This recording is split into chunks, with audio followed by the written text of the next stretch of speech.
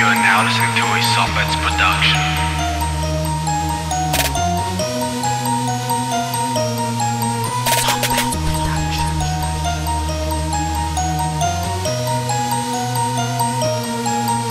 You are now listening to a Softbeds production.